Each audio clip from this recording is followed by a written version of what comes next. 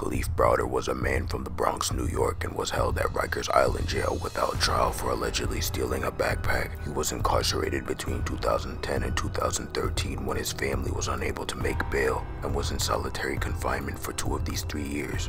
In this video caught by surveillance footage, Browder is seen being taken out of his cell and being walked by a prison guard. The prison guard then attacked the handcuffed man and wrestled him to the ground and pressed his head against the floor for minutes. And two years after he was released from prison, Browder committed suicide from the mental, physical, and sexual abuse he endured in prison.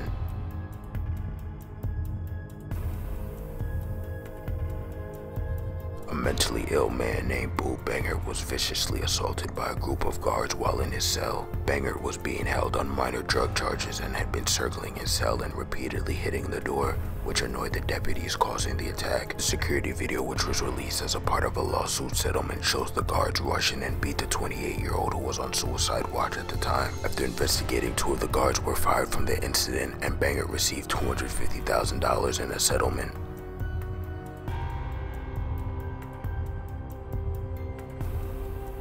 In this surveillance video, former cell block attendant Matthew Jaskula is shown abusing an inmate in handcuffs. The video recording shows the jail attendant first shoved the inmate named Sean Porter face first into a metal door at the city lockup. Porter then falls to the floor and hits his head and starts bleeding before Jaskula drags him into an empty cell 15 to 20 feet away. Porter was then put in a restraint chair used for non-compliant inmates where he was left for more than an hour before he received medical attention. And in May 2017, Jaskula pleaded pleaded guilty to felony charges of deprivation of rights.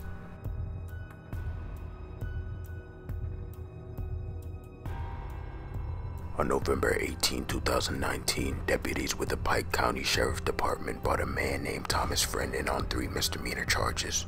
And in a video caught by surveillance footage, Deputy Jeremy Mooney was caught abusing Friend while he was restrained in a chair. The deputy seen constantly punching the helpless bloody man, and then the man is taken outside and sprayed with mace on his already bruised face. And once the video was released, Mooney resigned from the department before he could get fired.